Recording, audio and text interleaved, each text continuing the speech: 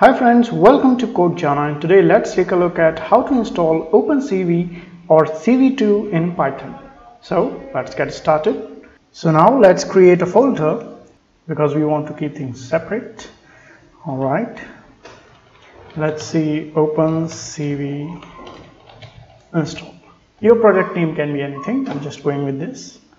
Now let's open PowerShell or command prompt if you like and let's cd into that that's desktop and then OpenCV install. Now we are going to create a virtual environment inside it. That's virtual env and then venv for the folder name. If you want to check whether you have virtual environment or not, you can just double hyphen and then version and it will show you virtual and version number. So you can rest assured that you have virtual environment as do I. So now let's just do venv inside opencv install folder. It will take just a few moments. All right. Let's check.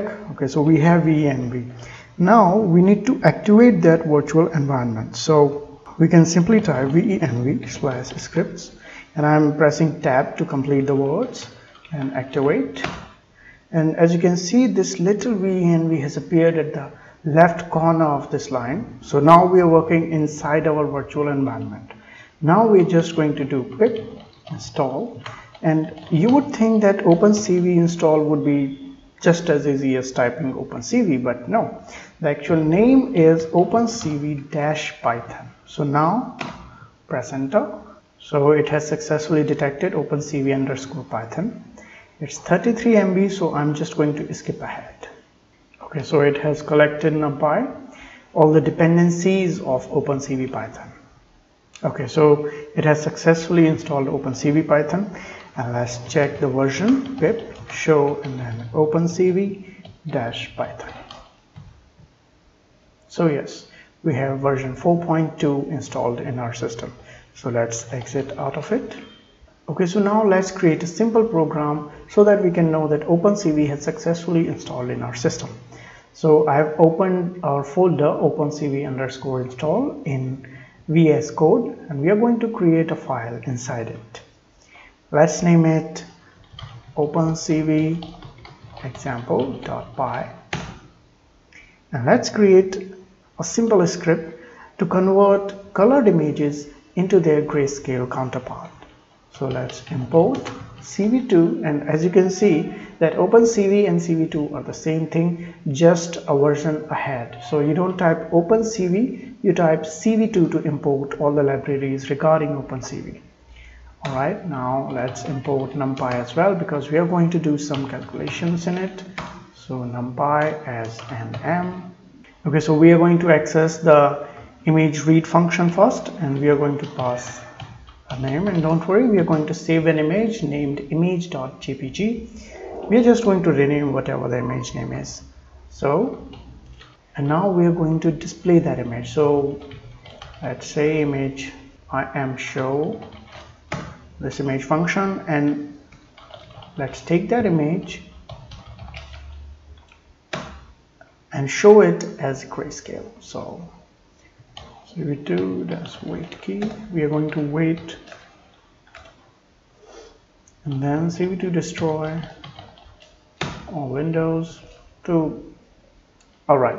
So before we run this program we are just going to save a sample image in the same folder that we are creating our project in.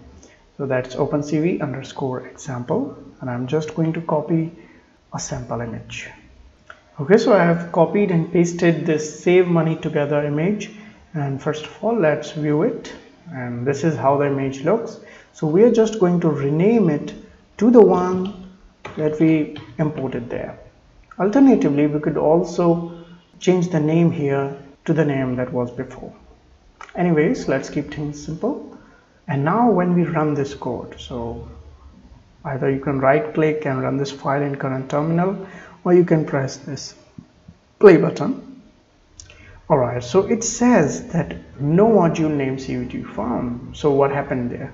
Well we need to run this from our current virtual environment so let's log into that environment that's scripts mm, activate that environment great and let's check if we have OpenCV installed or not. So pip show OpenCV dash Python.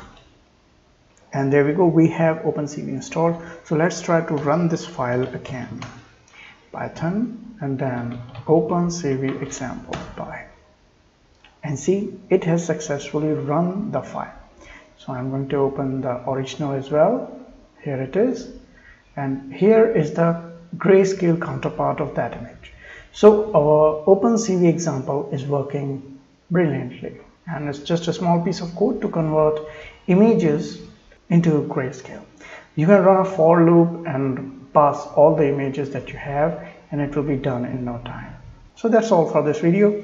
Thank you for watching and please do like, share and subscribe to our channel. Thank you.